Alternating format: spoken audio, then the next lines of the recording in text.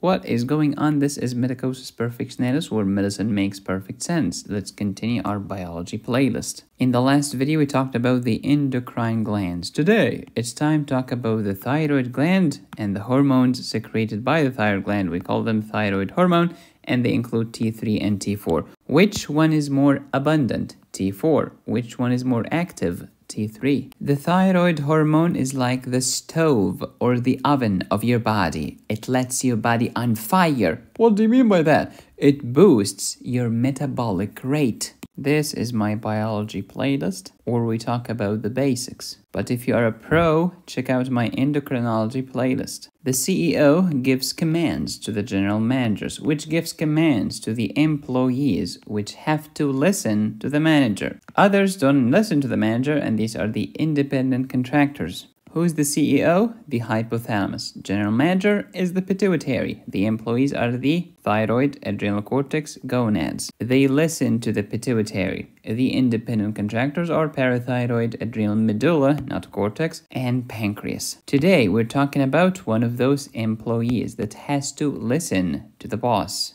So here's the CEO. The CEO want to talk to the thyroid. So the hypothalamus will secrete TRH thyrotropin releasing hormone, which will go to the pituitary, specifically the anterior pituitary. This anterior pituitary is going to secrete TSH. TSH is going to go and talk to the thyroid gland, and the thyroid gland is going to respond by secreting T3 and T4. Which one is more abundant? T4. That's why T4 can be known as the thyroid hormone. Hypothalamus secretes TRH, goes to the anterior pituitary to secrete TSH, which goes to the thyroid gland to secrete thyroid hormone. What if we secreted too much thyroid hormone? Don't worry about it. Negative feedback. This excessive thyroid hormone is going to inhibit the TRH from the hypothalamus and it's going to inhibit the TSH from the anterior pituitary. Let's say that we have a patient who has low levels of thyroid hormone. What do you call this? I call this hypothyroidism. Okay, now what's the cause of this hypothyroidism? It could be a problem in the thyroid gland, it could be a problem in the anterior pituitary, or it could be a problem in the hypothalamus. If the problem is in the thyroid gland, we call this primary hypothyroidism. If the problem is one step ahead in the anterior pituitary, we'll call this secondary hypothyroidism. If the problem is two steps ahead, we call this tertiary hypothyroidism thyroidism. The end result of all of these is a patient with low levels of thyroid hormone and therefore a low metabolic rate. I'm tired. I'm lazy. I'm depressed. I'm obese. I'm constipated. Everything is slow. Here's your hypothalamus secreting thyrotropin releasing hormone. To release what? The thyrotropin. Who's the thyrotropin? TSH. Thyroid stimulating hormone is also known as thyrotropin. Thyroid stimulating hormone is gonna go and stimulate um, the thyroid. No duh. Now the thyroid is gonna secrete thyroid hormone T3 and T4. Don't forget that the thyroxine or the thyroid hormone is part of the lipid soluble family as we have discussed before. What's the raw material when it comes to the amino acids? It's an amino acid known as tyrosine. That's the raw material needed to make thyroid hormone. There is also another raw material, and that's called iodine. So in order for you to cook some doozy delicious thyroid hormone, you need two components, tyrosine and iodine. Where do I get tyrosine? Well, it's one of the amino acids in your body. Your body makes tyrosine from another amino acid which is called phenylalanine. Where do I get phenylalanine? From food. You eat proteins proteins become amino acids, including phenylalanine. Phenylalanine is gonna give you tyrosine. Okay, where do I get my iodine from? From nature. If you live near a sea coast, you will get iodine from the sea. It's just nature. What if I live in the inwards, in the desert? Uh, well, you need to eat some iodized salt or anything iodized. Where's the thyroid gland? It's this beauty in your neck.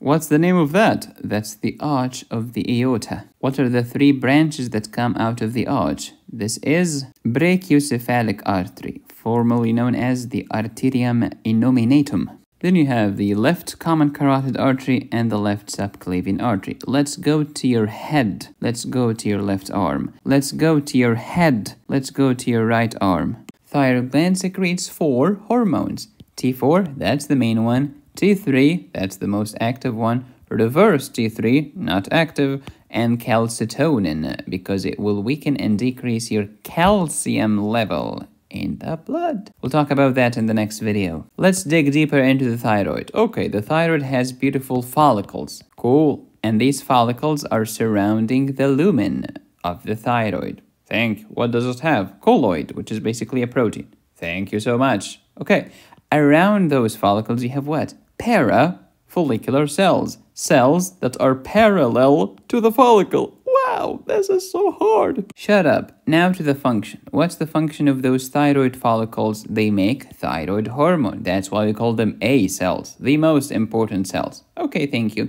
How about the parafollicular cells? They are clear, they make calcitonin, and we call them the C cells. What are the raw materials needed to make thyroid hormone? Well, you need iodine and you need tyrosine. Where do I find them in my body? Well, there is a carrier carrying them for you, and this carrier is called thyroglobulin, which is a globulin, which means it's a protein. Let's say that I live near the sea, so I get some iodide in my body. Now this iodide is in the blood. Okay, this iodide will go into my thyroid gland. Thank you. And then let's bring one iodide and another iodide. Let's combine them together to make iodine. Now the iodine is in my thyroid follicle. What do I do with it? Three things. Oxidation, organification, and coupling.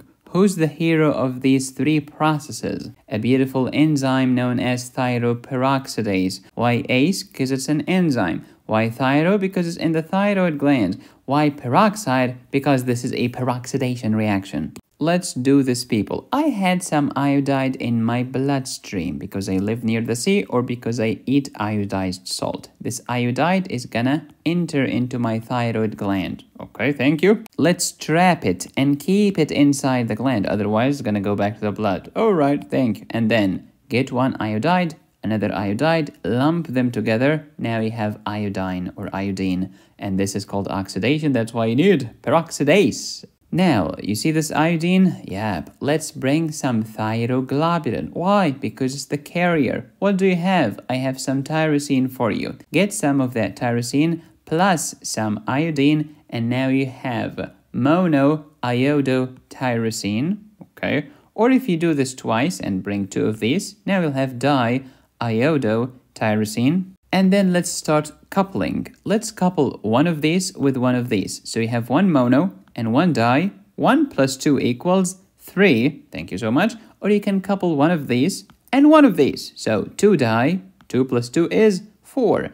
This is the story of the T3 and T4. Triiodothyronine, tetraiodothyronine. And you take those lovely people and put them in the bloodstream so that they can boost your metabolic rate. Oxidation, organification, coupling. The hero is my thyroperoxidase, who secretes TSH, the anterior pituitary, under an order from whom? From the hypothalamus. What does TSH do? Stimulates the thyroid gland. Alright, and when I stimulate the thyroid gland, I increase the synthesis of T4 and T3, thyroid hormone. I also increase the size of the thyroid gland. And when the gland in your neck gets larger, your neck will swell, and we call this goiter. Okay, thyroid hormone. Do you belong in the insulin world or do you belong to the glucagon world? Remember, the vast majority of hormones are here in the glucagon world, which means they are catabolic. They break down stuff, they destroy stuff to give me some energy. I need them in my fasting state.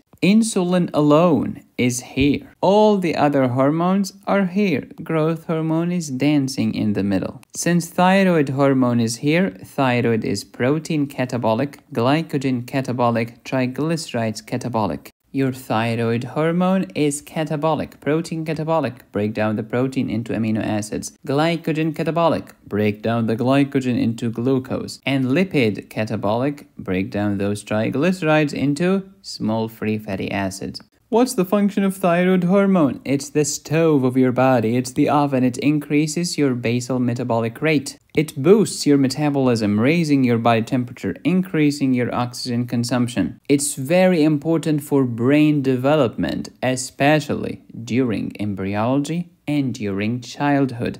That's why patients who suffer from congenital hypothyroidism have low IQ. Thyroid hormone belongs to the glucagon world. Who else belongs to the glucagon world? catecholamines, epinephrine, norepinephrine, dopamine, etc. Therefore, thyroid hormone is going to help his family. I'm going to help catecholamines. Help them do what? I'm going to increase the number and the sensitivity of the beta receptor so that when the catecholamine comes and binds to the beta receptor, you get more catabolic activity. Thyroid hormone will boost the ovarian cycle in females. It's going to boost spermatogenesis in males. And that's why if you have very low thyroid hormone, you can get what? Infertility, menstrual irregularities, etc. Also, thyroid hormone is going to increase your gastrointestinal motility. And therefore, if you have too much thyroid hormone called hyperthyroidism, you get diarrhea, too much motility. But if you have hypothyroidism, too little thyroid hormone, you get constipation, no motility. Now, if you're just getting started, focus on the symptoms. Don't try to focus a lot on this because you will lose your mind. So let's compare between hypothyroidism and hyperthyroidism. Symptoms. Hypothyroidism, everything is slow. Hyperthyroidism, everything is super fast. Hypo, let's go. Heart is slow, called bradycardia. How about I, I'm, I'm like, can I tolerate cold? No, you can't because you have no metabolism. Cold intolerance, you're always cold. Constipated, your gut is not moving. Coarse hair, your hair is not silky.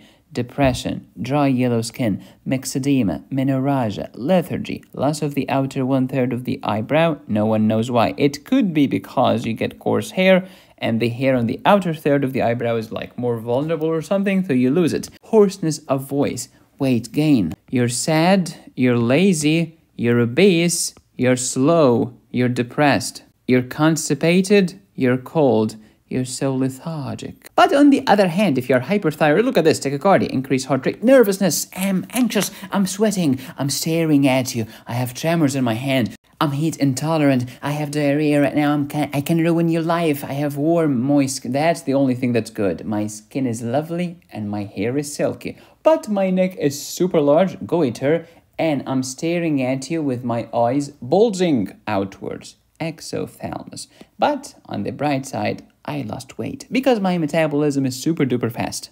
What's the cheapest way to diagnose hyperthyroidism? Oh, MRI of the brain. Oh, shut up. The cheapest way is to ask for an old driver's license or an ID. Here is Sam in the past. Here is Sam now. What happened to Sam? Hyperthyroidism. What if Sam was like this in the past but is like this right now? It could be hypothyroidism. But hey, medicosis, uh, wouldn't the patient notice the change? No, because it's very gradual. The patient will not notice. But when you put the two pictures next to each other, everyone will notice. Poor Sam.